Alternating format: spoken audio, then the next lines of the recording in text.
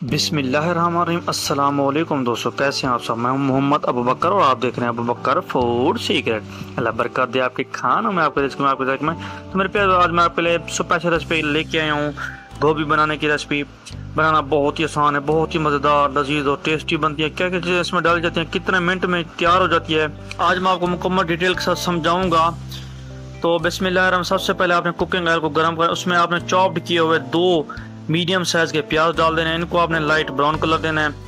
Recipe बहुत ही ज़्यादा आसान है और बहुत ही ज़्यादा टेस्टी बनाने वाला हूँ। मुकम्मल देखना है तो देखें, माशाल्लाह से ब्राउन कलर आ चुका है प्याज में। इसके बाद हरी मिर्च आपने चॉप कर लेने ये डाल देंगे।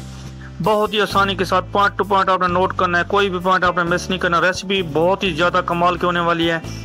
तो इसके बाद मेरे पास है लाल मिर्च। हसब ज़रूरत अपने लाल मिर्च का इस्तेमाल करना है। अगर आप ज़्यादा स्पाइसी खाना चाहते हैं तो ज़्यादा भी डाल सकते हैं। लेकिन कोशिश किया करें, मकदार को आपने बराबर रखें इसके बाद मेरे पास है नमक। तो नमक बीपी के मरीजों के लिए बहुत ही ज़्यादा एहतियात की रिक्वेस्ट है। इसके बाद मेरे पास है हल्दी पाउडर। तो हल्दी आप डाल देंगे। सेहत के लिए बहुत ही ज़्यादा बेनिफिशियल अंदर के ज़ख्मों को ठीक करता है, रंगत को निखारता है और टेस्ट को डिवेल्प करता है। तो माशाल्लाह से मिसाले की बनाई का प्रोसेस हमारा रवा दवा इसके बाद मेरे पास है टमाटर। टमाटर आपने बिल्कुल ज़बरदस्त किस्म के, लाल लाल लेने हैं, अच्छी किस्म के।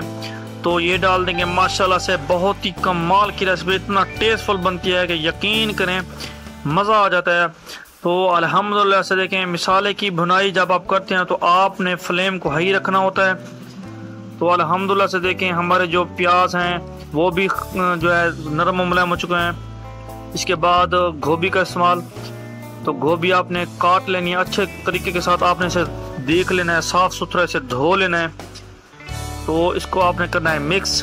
तो वह मेरे माले की शान, उसकी रहमतें, उसकी नेमतें, उसकी बरकतें। तो माशाल्लाह से इसे अच्छे तरीके के साथ आपने मिक्स करना है ताकि मसाला रच बस जाए गोभी में। तो अल्हम्दुलिल्लाह से देखें चम्मच आपने फेर देना है। तो माशाल्लाह से देखें, इसमें जो है रंगा तना शुरू हो गई है। तो अभी तक अगर आप हमारे चैनल पर नए हैं तो हमारे चैनल को सब्सक्राइब करें तो इसमें पानी का इस्तेमाल करेंगे आप। तकरीबन आपने आधा गिलास पानी का डाल देना है, ताकि जो गोभी हाल्ट है, वो सॉफ्ट हो जाए, नरम मुलायम हो जाए, मक्खन और मलाई की तरह हो जाए तो इसे कवर अप कर देंगे।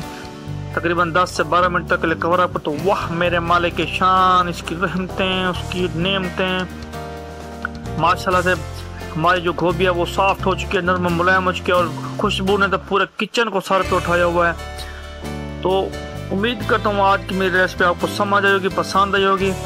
रेसिपी पसंद आई लाइक शेयर ज़रूर करें और अगली रेसिपी तक के लिए हमें अल्लाह हाफिज़।